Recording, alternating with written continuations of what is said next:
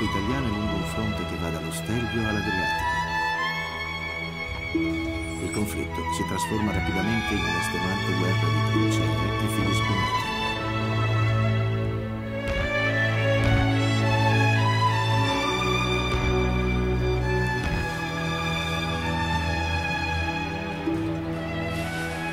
Grado è una cittadina costiera che si trova proprio sulla linea del fronte. La sua posizione è strategica per proteggere le truppe di terra dagli attacchi della marina australiana a distanza.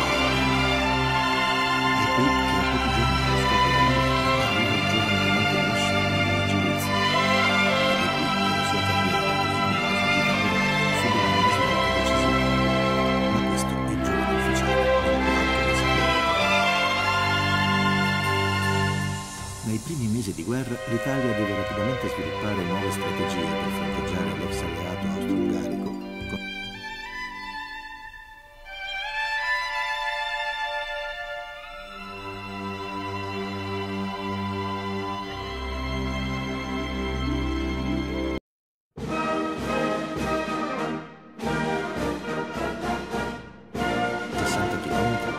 dislocato un treno armato con cannoni. Il regolare servizio ferroviario è sospeso per consentire ai treni armati di pattugliare la costa. Ma il sistema di difesa mobile da solo non può bastare.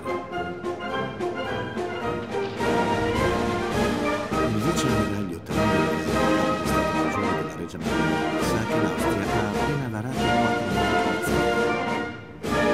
intuisce che l'unica arma possibile è giocare d'astuzia, contrastare la potenza del Poco lontano, due massi italiani stanno per concludere il consueto giro di perlustrazione, quando, nel chiarore incerto dell'alba, scorgono un filo di fumo nero all'orizzonte.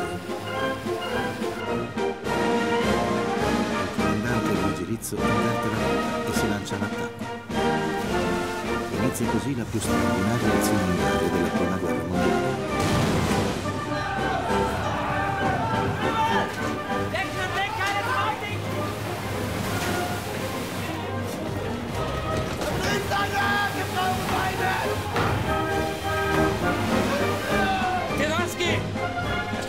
Betriebsleiter! Un'impresa che passerà alla storia anche grazie al film muto che lo stesso Luigi Rizzo interpreterà nel Campo In omaggio all'audacia del manipolo italiano che osò sfidare la colossale flotta austro-ungarica. Un vero scontro tra Davide e Goliat.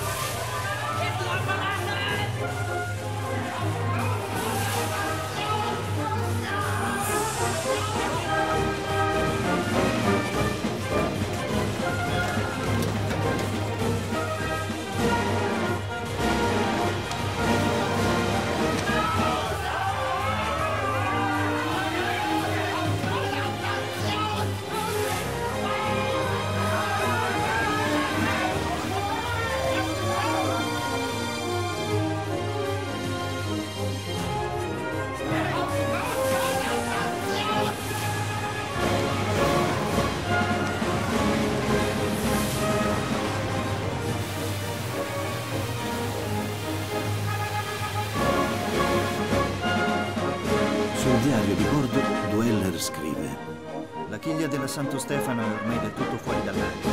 La nave capovolta della Santo Stefano. alla Tegetov. Tornano al porto di Ancona vittoriosi.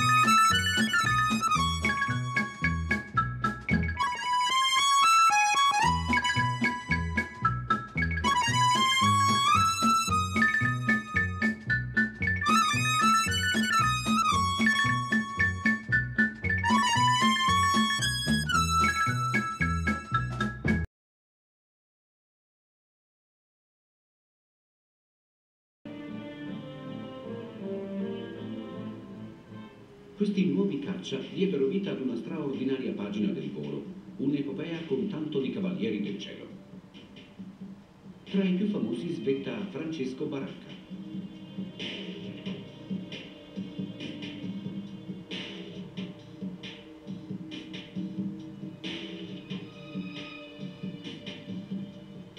Uscito con il grado di sottotenente di cavalleria dalla scuola militare di Modena, Francesco Baracca decise di passare all'aviazione, della quale divenne subito un asso indiscusso. Abilissimo nella tecnica acrobatica, Baracca si rese autore di fantastiche imprese che gli valsero fama e ammirazione generale.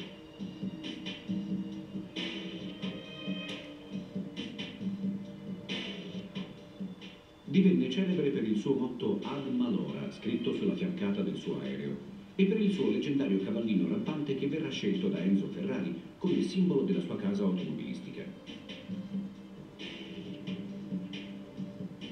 Dopo la disfatta di Caporetto, Baracca si avventurò in spericolate missioni contro le truppe austro-tedesche con voli radenti a bassa quota. Nel corso della battaglia del Piave ottenne la sua 34esima e ultima vittoria. Giugno del 1918, mentre era impegnato in un'azione sul Montello, un colpo sparato da terra lo colpì alla testa e lo uccise.